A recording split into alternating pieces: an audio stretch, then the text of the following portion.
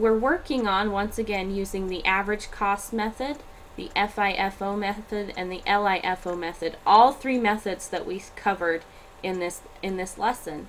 Um, they're giving us an, a situation. Notice don't just write down the answers I give you because I've changed the numbers here so that you have a chance to do it on your own. But I'm going to show you how to do it. Okay. says at the end of the month, 80 packages of windshield wipers were on hand. That's what they had left. Find the ending inventory value using the average cost method, the first in, first out method, and the last in, first out method. And here are our items right over here. Okay, so it tells us how many units they received, what the cost per unit was, what the total cost of each order was. Okay, so we have these totals here.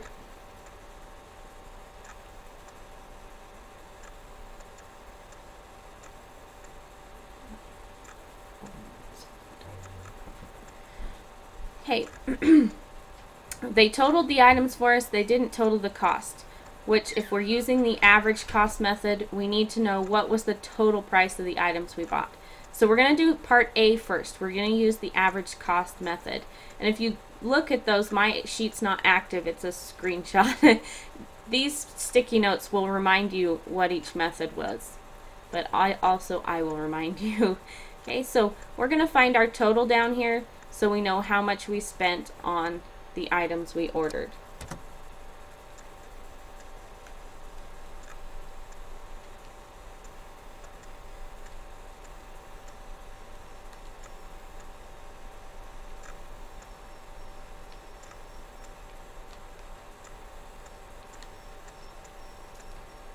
Right, we have $2,709 when we total up all of our orders.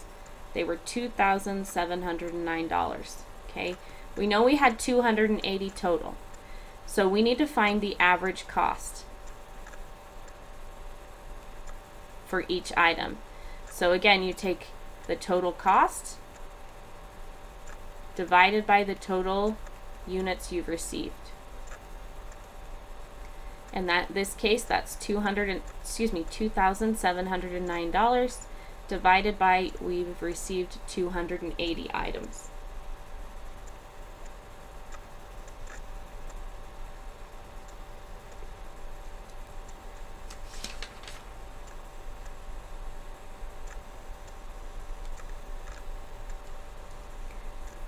Okay, so the average cost is nine dollars 9.675 is our average cost here.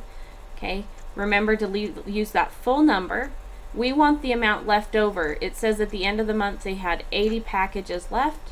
So we multiply that by 80 because this is the average cost of our item times 80 and we get $774. Okay, so in this blank I would put $774. Using the average cost method, the value of our inventory that's left is $774.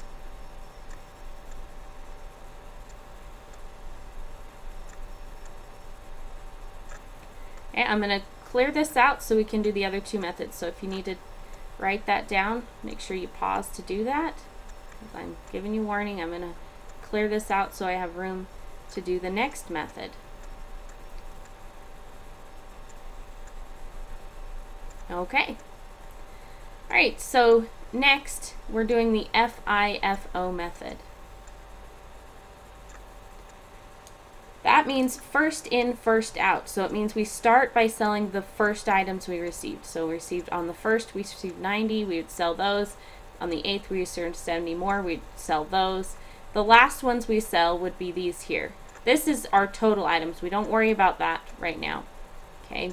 Um, so here's where our last item sold. Now we sold that we had 80 left over. So if there's 80 left over, it's going to be from this 120 here okay, because that's the last items we sell. So that means we sold 40 of these and had 80 of them left over, okay. We want to know what was the price of the items in our inventory, the price left over. We had 80 left over. We know they come from this group, so we know they had to be $9.85 each.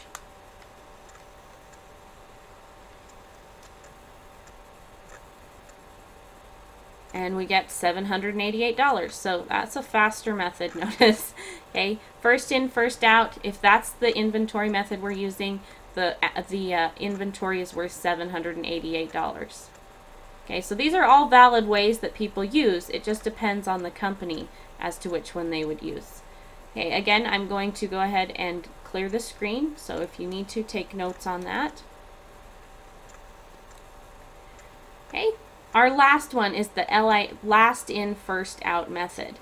So and remember in the last in first out method, this one we start at the top, the bottom and work our way up. The last ones in are the first ones we sell. Okay. So on this one we start selling these 120, then we sell these 70 and finally sell the last 90. So if we have 80 left over this time, the 80 is going to come from here. It's going to mean we sold 10 of these and had 80 of them left over because we're going from last in, first out. We start at the bottom and go up. Okay, so our remaining inventory, there were 80 items. They came from this group, okay, because we sell those last in the last in, first out item. Okay, so 80 times $9.50 is $760. So the price of our inventory or the value of our inventory if we use LIFO method is $760. So these are all ways to find out how much is our last 80 worth that we had. Down here they want you to explain why are they different. Okay, and one thing you might notice is we multiplied by something different every time. We had 80 items, but we multiplied by a different value. Okay, so this I want you to put in your own words. Why were the values different?